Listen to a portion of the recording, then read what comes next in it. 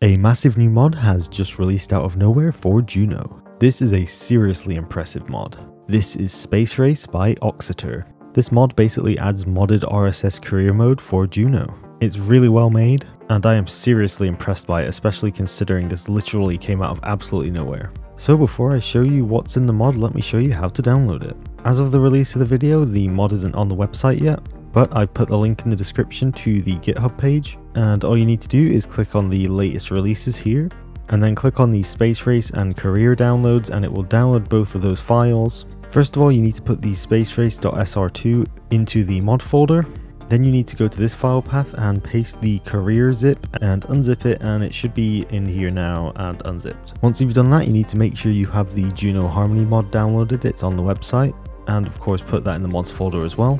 After you've done that, hop into the game. You want to go into the mods menu, enable the Juno Harmony mod first. You have to enable it first or this won't work because it's a dependency. And then you can enable the Space Race mod. Once you've done this, you'll want to download Hyperpatch's Solar System 2.1 or RSS. It's on the website in the Solar System section, I'll put a link to that in the description as well. And once you've got all that loaded up, you want to create a new system. In the career mode section at the bottom, you want to select the space race mode. Then go into the sandbox tab and select the solar system 2.1. Once you've done this you can name your career mode and you can create it. And now the whole mod should be set up and you should have the career mode enabled. So what does this mod add? Well many things and it works very similar to how the career mode works in the current version of stock.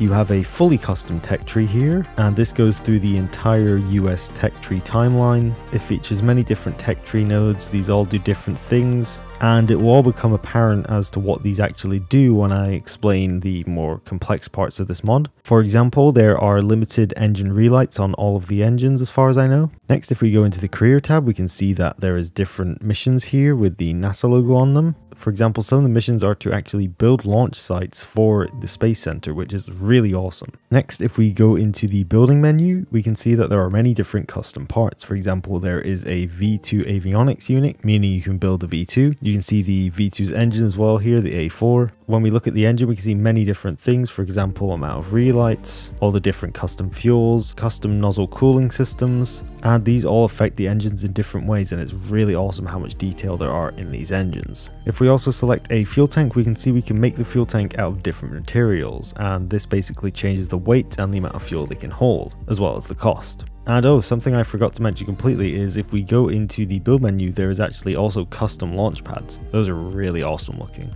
We can also head to quote unquote the Space Center.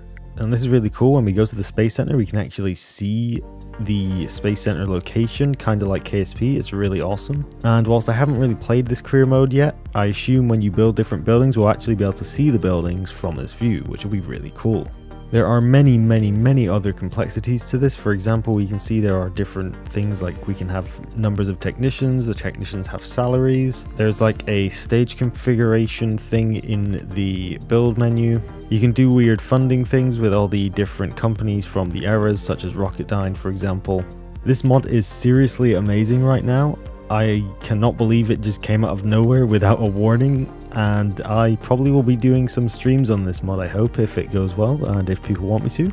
And I'm pretty sure this mod was made by only one person which is absolutely insane by the way. So massive congrats to Oxeter for making such an amazing mod. If they do post it on the website, I will definitely add a link to it in the description so you can upvote it and such. And this is what we need in Juno. We need to support these mods because they are absolutely amazing and I think they're carrying the game right now if I'm being honest. So we need to really support these mods and make sure that they are inspiring people to make more mods in my opinion. So with that said, I would like to thank the members Karnasa, Pedro, Reknarek and Adamcat for supplying the funding for the music you can hear during this video. And thanks for watching, and I'll see you in the next one.